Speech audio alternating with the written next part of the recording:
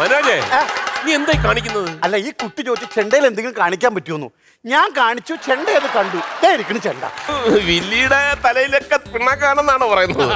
അതുകൊണ്ടാണല്ലോ അമ്മായിയെ കെട്ടിയത്.